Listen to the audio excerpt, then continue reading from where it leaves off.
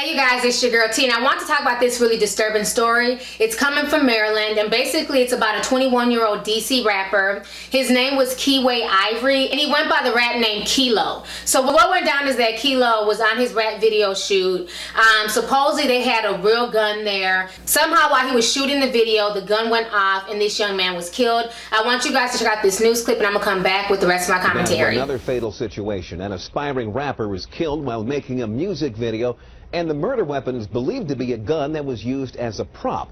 Now, this all happened just after 10 last night near 62nd Place and Eastern Avenue in Seat Pleasant.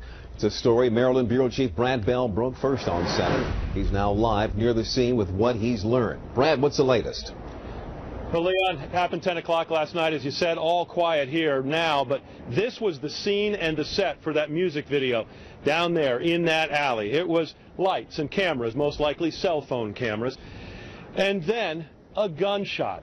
And the star of the video is found dead in the parking lot right over here. Police are trying to find out what on earth happened to this aspiring star.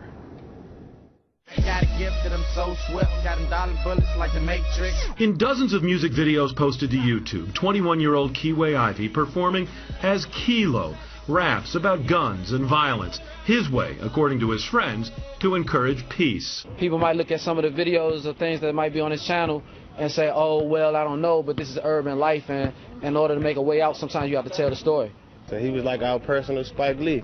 Last night, Kealo Ivy is filming in this alley between an apartment and a shopping center in Seat Pleasant. He's starring in and directing another of his videos. Videos, videos on his mind. All he wanted to do was edit videos, come home, play basketball, eat, and do another video. At least 20 people are involved. According to sources, a gun, likely being used as a prop, goes off. Ivy is hit and killed. The cast and crew scatter. Police find Ivy alone in the parking lot. Many now being questioned by detectives who want to know if Kealo Ivy's death was an accident or a murder. The latter, a possibility Ivy's brother can't imagine. He never bothered nobody for real. My brother's a person who stayed to himself. We doing what he loved, man. That was his dream. That's what he loved, man.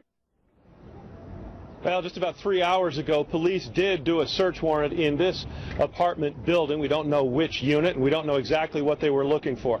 But sources have told us that police have every reason to believe that whatever happened here was captured on camera. After all, at the moment the death happened, they were shooting a video in Seat Pleasant, Brad ABC 7. You guys just watched that news clip. First of all, why was the news reporter throwing so much shade? I just love how the newsman was throwing all that damn shade. He was like, they had lights, cameras, most likely cell phone cameras. I'm like, really? You gonna throw shade at a moment like this? So this whole situation just bothers me. This is why I tell folks that you really have to know who your friends are. I feel so bad for this young man. You know, one, he's rapping about drugs and violence. They're saying that he's keeping it real about what's going on in his neighborhood, what's going on where he lives. But this is where keeping it real goes wrong. First of all, if you're at a video shoot, why would they have a loaded gun there? If anything, they could use a fake gun as a prop. The thing that bothers me the most with this entire story is that he was there with about 20 or so people. This was his crew. These were so-called fans. These were so-called people who were there to support him and be in this video.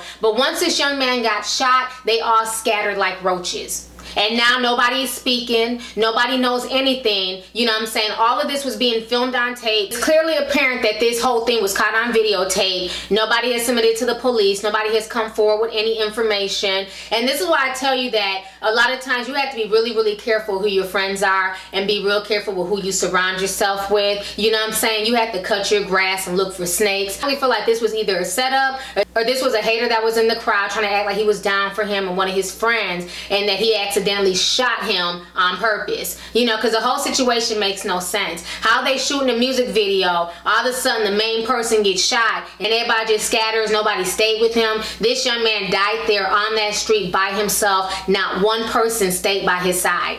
You know, this is just really, really sad. Just really wish a lot of young men out here would find something more positive to rap about than selling drugs and killing and gang violence. Sometimes what you rap and talk about can manifest into reality, and this might be one of those situations. You know, rest in peace to this young man. Nobody deserves to be killed like that in that manner. Nobody deserves to die alone in that manner. So this is really, really sad because he had his whole life ahead of him, and now, you know, he's dead and gone.